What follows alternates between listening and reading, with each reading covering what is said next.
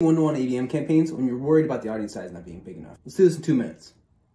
If you didn't know, LinkedIn has a minimum audience size of 300. For a company you're targeting, you have to hit that minimum audience size of 300 or it's just not gonna run. This can make it difficult if you're going after smaller accounts, especially if they're under 300 people, but there's still a way to do it that we'll talk about. There's really three buckets to think about when you're doing this. The easiest is when you're targeting those enterprise accounts, the Amazons, the HPs, the IBMs, and typically whatever department you're targeting, which most people are, just want to talk to one department, the audience size is going to be big enough just because that company is so big. It's really easy because it's just company plus department. Then you have those accounts that are 500 to 5,000 employees. And depending on the company, you usually have to add in more departments. Marketing department, at a thousand person company, it might not hit that minimum audience size. So you got to start thinking about departments you should add in.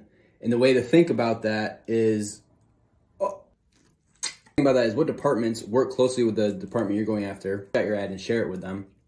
Or maybe it's just execs because they're going to talk to their counterparts in exec meetings. So you could marketing department or CXO and VP, writing things like business development. It also has like founders, CEOs, things like that.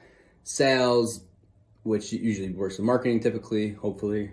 And you can start going down the line like that until you hit that minimum audience size. And then you have the bucket of companies that are under 300 employees, which obviously you're not gonna hit the minimum audience size. The way around that is to add in companies that are not active on LinkedIn. Home services companies, HVAC, roofing, plumbing, companies smaller companies that you know aren't on LinkedIn or not usually on LinkedIn.